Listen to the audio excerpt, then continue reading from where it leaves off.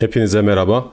Borsa, forex ve kripto hakkında daha hızlı bilgi almak için Instagram sayfasında HGV Trade diye aratabilir ve burada bizi takip edebilirsiniz. Özellikle hikaye kısmında arkadaşlar şu an görmüş olduğunuz gibi gün içerisinde borsa, forex, kripto hakkında size bilgilendirmeler yapıyorum. Aynı zamanda profilde hem Twitter, YouTube adresi hem de ücretsiz olarak katılabileceğiniz Telegram adresinin linki mevcut. Bunu kullanabilirsiniz. Bunun dışında hgvtrade.com sitesine girip HGV Trade'in ne yaptığı hakkında burada detaylı bilgi alabilirsiniz.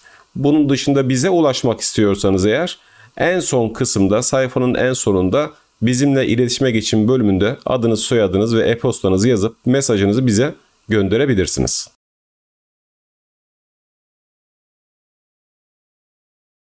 Merhaba. HGV Trade sayfasında şimdi de e, haftalık listelerden başka bir şey bakalım. E, şeyden dördüncü haftadan bakmıştık. Ereğli incelemiştik. Şimdi bu haftaki listeden bir şey seçelim. Şöyle gözümüze çarpan. E, burada mesela benim de merak ettiğim TT.com. Bunlardan bir tanesi TT.com. TT.com şu an haftalık listeye girmiş durumda. Şöyle ekrana biraz daha büyütelim. Şöyle bakalım. 7.39'luk ee, bir kapanış yapmış. Ee, Cuma günü kapanışı ve direnç yüzdesi yukarıda 2.88. Tabii ki burada minimum e, yakın direnci hesaplıyor. Aşağıda da destek bölgesi 6.89 görünüyor.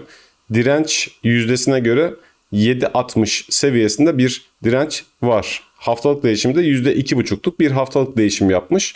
Şimdi biz bunu gidip e, doğrudan doğruya Grafik üzerinde inceleyeceğiz. Önce bir dip zirvesine de bakalım şuradan.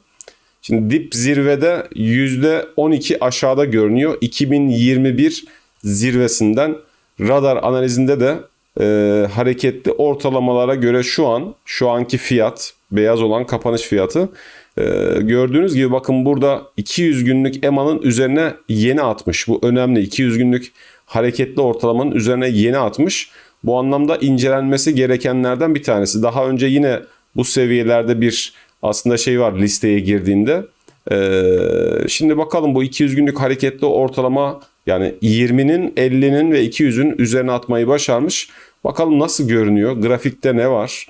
Bir grafik grafik üzerinden konuşalım. Daha önce TT.com'u ben konuşmamıştım. Daha önce videosunu çekmemiştim. Hatırlamıyorum yani daha doğrusu.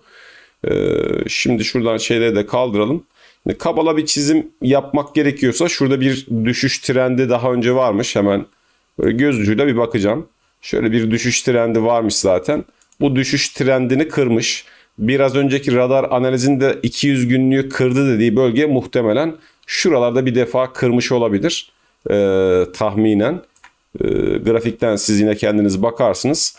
Ve buradan sonra da bu kırılımdan sonra da aşağı bir düzeltme yapmamış görünüyor. Normalde bu düşüş trendlerinden sonra aşağı yönlü bir düzeltme yapıp sonra trend yukarı doğru gider. Bu çok daha sağlıklı olur. Şu an bunu yapmamış durumda. E, dolayısıyla burada başka bir seviye daha çizelim. Hatta şöyle yapalım. Bu tarz çizimlerde şunları unutmayın. Mesela daha önce değdiği nokta onun için bir direnç olacaktır. Burayı kırmayı başarmış. Aynı şekilde şunu şöyle yukarıya taşıyalım. Mesela şu temas ettiği bölgeler yine önünde önemli bir direnç olacaktır. Bu da 8, 14, 8, 15 seviyelerine falan denk geliyor. E, bu şekilde de bunu kabul e, takip edebilirsiniz. Ben hemen Gosibo'yu getireyim. Gosibo üzerinden çalışalım. Şunları silelim. Düşen trendi kırdığını biliyoruz. Uzun vadeyi açtım ve bakın tam da nereye denk geliyor. Bu arada şurada bir gap bölgesi var. Bu gap bölgesini de kapatmayı başarmış. Şimdi tam da ana dirence geldik. Hatta e, daha da ilginç olan şey kapanışı 7.39 ana direncimiz 7.39. İşte matematiksel hesaplama diye kastettiğimiz şey bu arkadaşlar. Çok yakın bir mesafe ama sistem kendisi hesaplama yapıyor. Yani bu aralıkları da kendisi belirlediği için ona çok müdahale olmuyoruz. Ee, sistemin hesaplamasına göre burası bir dirençmiş ve burası çalışmış durumda. Peki buradan sonraki hikayemiz ne olabilir? Burada siz tabii ki şunu da yapabilirsiniz. Yani o konularda serbestsiniz. Ben yapmıyorum fazla. Şöyle küçük çaplı bir trendi buraya çizip bunu takip edebilirsiniz. Ee, ama ben daha çok seviye takip edeceğim. Şimdi bu seviyeyi nasıl yorumlayacağız? Genişletiyorum iyice. Biraz daha yakından bakalım. Acaba TT.com bu yükselişini sürdürür mü? Veya sürdürmese bile dinlenecekse nerelerde dinlenecek? Orta vadeye açtık. Orta vadede bizim bir hisseden hele ki şöyle göstereyim. Ana direnç, ana destek bölgesinde olan bir hisseden beklentimiz ana destek ve ana direncin bulunduğu yerdeki bölgede kalsın. Bir alt ve bir üst bandı. Yani şurası bizim üst bandımız ve burası bizim alt bandımız. Burası bir kanal olarak onun dinleneceği yer olsun. Maksimum ve maksimum tekrar söylüyorum. Yani sınırları zorlayacaksak şu bölge hani en kötü ihtimal 7.26 altına sarkmaması lazım ve bunun üzerinde kaldığı sürece trendini devam ettirecek diye teknik analizi olarak e, Gossi Bonacci'de bakılır. Ama burada önceliğimiz dediğim gibi 7.31'dir. 7.31'den benim sabrım var diyen 7.26'ya kadar burada takipte kalabilir. Şimdi fiyat bu bölgede ne yapabilir? Fiyat bu bölgede dinlenebilir arkadaşlar. Yani şunu unutmayın. Fiyat burada geldiği zaman yukarıda 7.51'e çarptığında trend gidiyor diye bakmayız. Çünkü bizim için öncelikli amaç 7.51'in üstünde kapanışlar görmek. Bunun dışında ne bekleriz? Ghost Fibonacci diyor ki bu bölgeye yani ana destek ana direnç bölgesine girdiğinde fiyatlarda şu şekilde bir dalgalanma görebilirsiniz diyor. Hesaplama bu. Peki bu fiyatlama dalgası ille bu şekilde çizdiğim gibi mi olmak zorunda? Hayır öyle olmak zorunda değil. Unutmayın şunu yapabilir. Mesela fiyat gelip burada gelip çarpar, yukarı gider, tekrar gelir çarpar.